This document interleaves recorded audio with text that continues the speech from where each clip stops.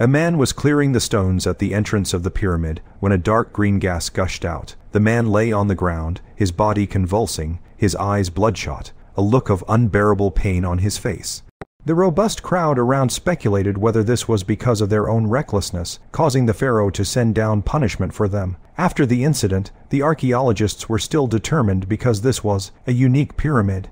While the ones discovered so far had four sides, this one only had three. They saw this as a milestone discovery, believing that their names would be recorded in history if they could delve deeper into it. Despite the safety concerns, they couldn't be deterred. Orders had been issued to strictly prohibit anyone from approaching the pyramid, but this didn't stop them. Anna, being clever, came up with a compromise. She controlled a recording vehicle to enter the pyramid, thus avoiding the risk of poisoning. The recording vehicle rattled its way into the pyramid, but before it could go too far, it was attacked by an unidentified creature inside, and the footage disappeared instantly.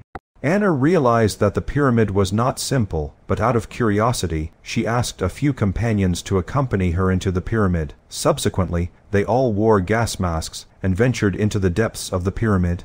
Here, they found a large number of ancient tools. However, what was even more eerie was that under the fluorescent light, they discovered that the tools were covered in fresh blood. This discovery delighted them, and they continued deeper, hoping to find something more valuable. But within the unchanging interior of the pyramid, they lost their way. The walls around them were covered with densely packed hieroglyphics, as if warning them of the pharaoh's curse. To reassure the team, Anna lied and said that the exit was not far ahead.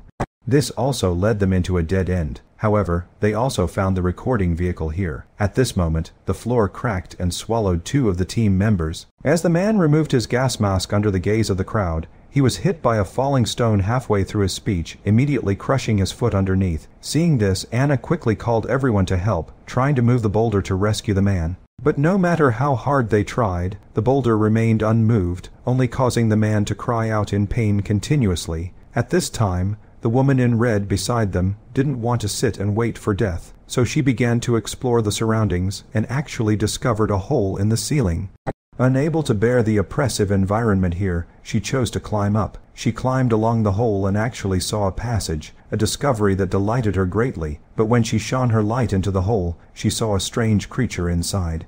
Terrified by the sight, she quickly told her teammates about the discovery, but before she could finish speaking, Daniel, who was searching for an exit nearby, found a stone door propped up by sticks, leading him to believe that this was the real way out. He called his companions, and together they worked to remove the sticks blocking the stone door. When the door finally opened, it revealed a dark and deep passage, but before they could leave, they had to reassure the man whose thigh was pinned under the rocks. Anna told the man that they would find help for him as soon as they left the pyramid. However, they had barely taken a few steps when they heard the man's screams from behind. They hurried back, only to see long bloodstains on the ground, with the man nowhere to be found. Meanwhile, Daniel began to inspect the surroundings and accidentally triggered some mechanism. Soon, the passage began to fill with a large amount of sand, frightening everyone into running away, fearing being buried alive. But Anna, who was a step slow, was trapped by the quicksand and couldn't move. Fortunately, Daniel didn't give up and managed to rescue Anna from the quicksand. Together, they reached the end of the passage only to see the red, clad woman surrounded by a group of cats where she had fallen, and Daniel, while opening a door, was pierced through the chest by a monster. The terrified Anna was also dragged away by the monster, and as the unconscious woman opened her eyes, a strange creature appeared before her, staring at the trembling Anna seemingly considering whether to steam or stew her. And this Anubis creature with the body of a man was the Anubis, the god of death, from Egyptian mythology. At this critical moment, Anna finally cut the rope around her waist with a small knife hidden there, and then slashed at the Anubis in front of her, wanting to take the opportunity to escape. But before she could take two steps, she was blocked by a group of cats that suddenly appeared. Thinking she was doomed, Anna found that the cats didn't pay attention to her, but instead rushed towards the Anubis behind her. Taking advantage of the moment when all the cats were fighting with the Anubis and ignoring her, Anna seized the opportunity to run away without looking back. She climbed up the ladder leading to the exit, exerting all her strength to try to leave the pyramid. When she saw the light ahead symbolizing freedom, the long struggle and fight left her exhausted, and she collapsed in front of the exit. Just when she thought there was no hope of escape, a boy appeared in her sight along with the sunlight, igniting hope for life in Anna again. But at this moment, the Anubis suddenly appeared behind the boy, sending shivers down Anna's spine.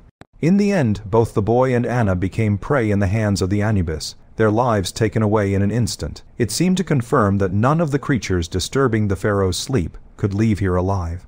And the construction of this three-sided pyramid was to trap Anubis and prevent it from running out to cause havoc in the world.